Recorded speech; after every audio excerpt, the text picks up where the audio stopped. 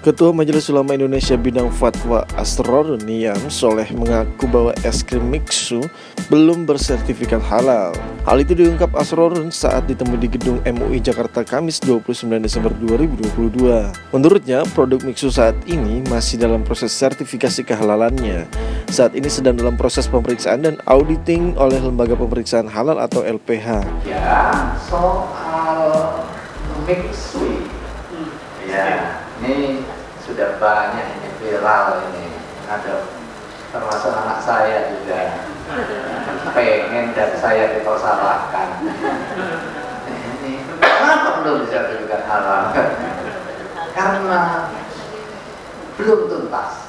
Jadi gini jawabannya Mixui sedang dalam proses sertifikasi MUI belum menetapkan kehalalan terhadap uh, next week. Karena apa?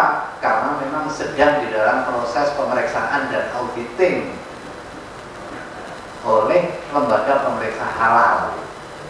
Jadi tahapannya dia sekarang sedang di dalam proses pemeriksaan di lembaga pemeriksa halal membutuhkan kelengkapan-kelengkapan dokumen yang sekarang ditunggu oleh LPH setelah selesai nanti akan dibawa ke MUI untuk ditetapkan e, kehalalan atau ketidakhalalannya. Jadi hingga hari ini memang belum masuk di Majelis Ulama Indonesia guna disidangkan. Itu ya jawabannya. Terima kasih. Kurang lebih mohon maaf.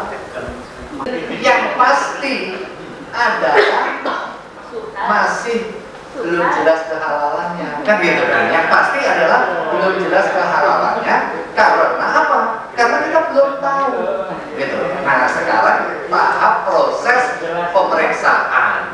Nah kalau ada orang yang sudah tahu ya dia memberitahu. Nah sekarang proses pencarian tahu oleh siapa? Oleh auditor. Yang dalam hal ini ditangani oleh teman-teman LPH sedang di dalam proses mencari tahu agar kita tahu